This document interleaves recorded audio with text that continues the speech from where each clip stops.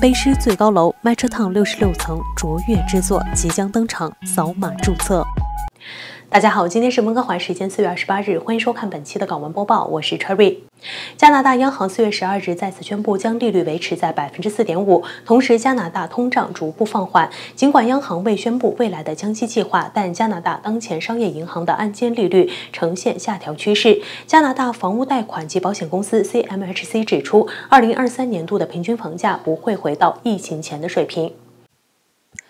RateHub.ca 的数据显示，当前加拿大最低的五年固定按揭利率为百分之四点二九，三月时为百分之四点五九；最低的五年浮动利率从百分之六点一回落至百分之五点五五，最低的三年固定利率从百分之四点七九回落至百分之四点三四。RateHub.ca 联合执行长 James 表示，这种下降趋势部分原因是加拿大债券收益因未来减息预期下滑，而债券收益是按揭利率。关键决定因素，按揭利率不仅呈下滑趋势，银行和贷款机构因天气和房市升温，也纷纷推出了春季促销。这两种因素相加，导致加拿大商业银行的按揭利率呈现下滑趋势。甚至有华人网友透露，可以在此基础上找贷款经纪，再得到一些折扣。面对目前的利率下降，买房或者是续按揭的人则面临着浮动利率和固定利率的两难选择。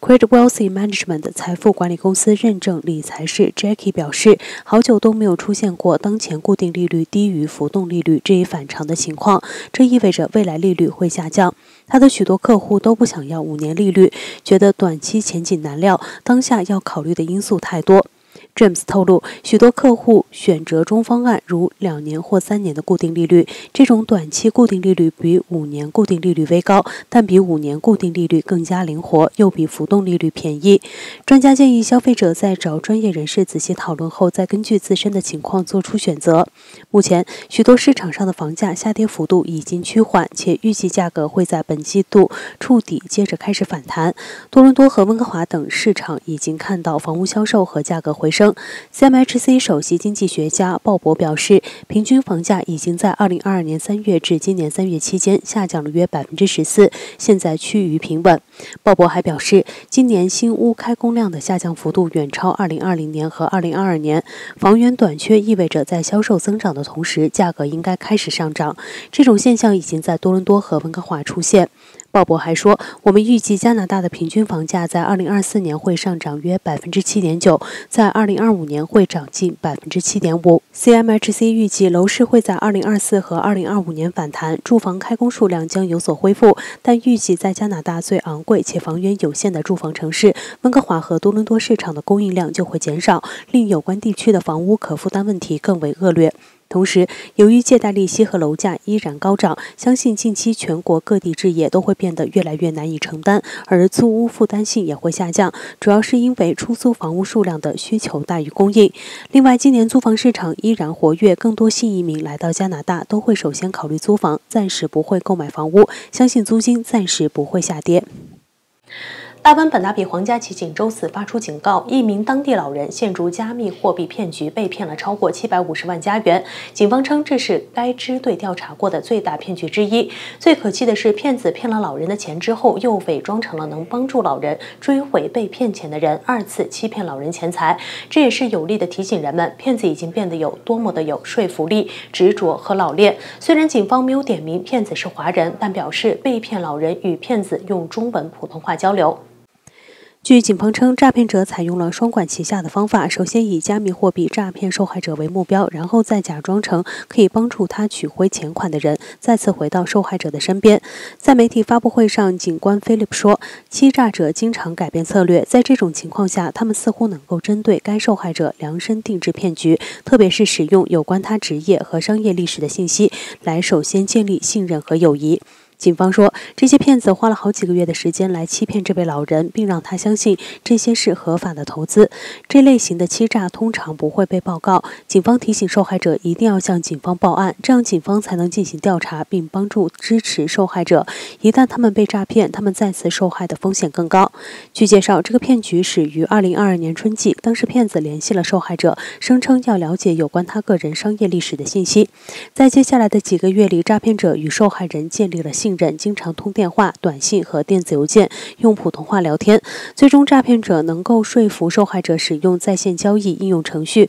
通过多次存款向加密货币钱包投资数百万元。警方表示，通过诈骗者发送给他的应用程序，受害人能能够检查他认为是他账户的余额，但是这些应用程序实际上是假的，旨在模仿合法加密货币交易平台的外观。最终，当受害人试图从账户中取款时，发现无法取款，那也是骗子切断通讯的时候。但是骗局到此并没有结束。后来，一个用不同的名字的人联系了他，声称他们可以帮助他追回他的钱。诈骗者向他施压，并威胁要他投入更多的资金才能追回被骗的钱。最终证明，这又是一次欺诈。警方表示，对欺诈的调查仍在进行中。警方利用这一事件来说明欺诈活动的频率和复杂性不断增加。警方警告公众要警惕加密货币诈骗的这些常见迹象：第一，在短时间内获得异常高的投资回报率；二，嫌疑人在一天中的任何时候都会给受害者发送信息，对其个人生活感兴趣；三，嫌疑人给受害者提供借口，让他们去银行取钱；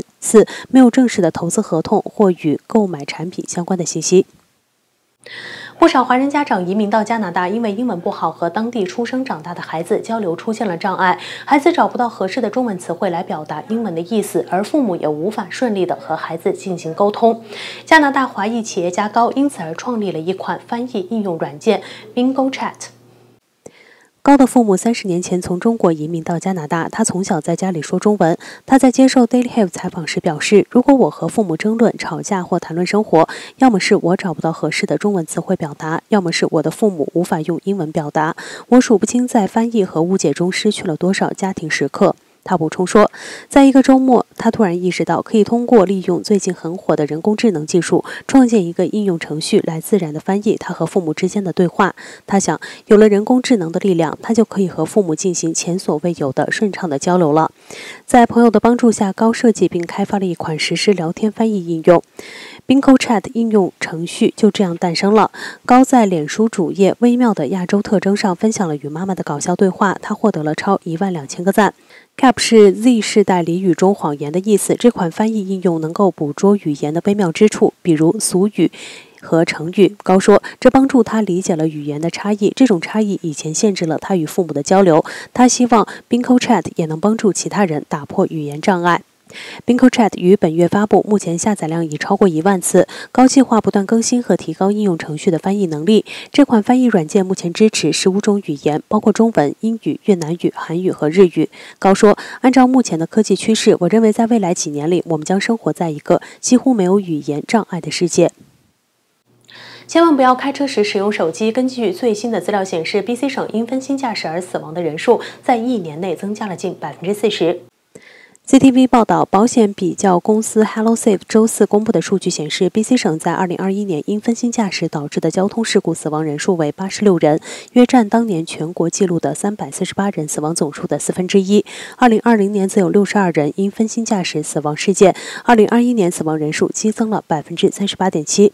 HelloSafe 将分心驾驶定义为任何将驾驶员的注意力从道路上移开的行为，这种行为会影响驾车者、乘客、行人和骑自行车的人。报告中提到一些分心驾驶的不良行为，包括发短信或电子邮件、为 GPS 设备定位、观看视频、阅读、化妆以及饮食。该公司表示，很不幸的是，分心驾驶自2019年以来一直呈上升趋势。最新数据显示，BC 省29.15%的致命碰撞事故发生在与分心驾驶有关，高于2019年的25.08%。HelloSafe 无法提供分心驾驶中哪些行为和哪些地点是最致命的，但发言人德苏特说。我们能找到的唯一数据是在百分之六十的分心驾驶碰撞中涉及使用手机。这个统计数据适用于整个加拿大，而不仅仅是 BC 省。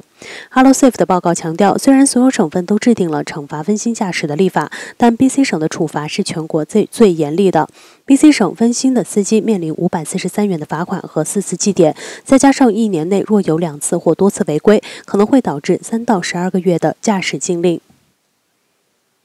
好了，以上是本期。港湾播报的全部内容，感谢大家的收看，我是 Cherry。如果你喜欢我们的节目，欢迎您点赞和转发我们的视频。我们下期节目再会。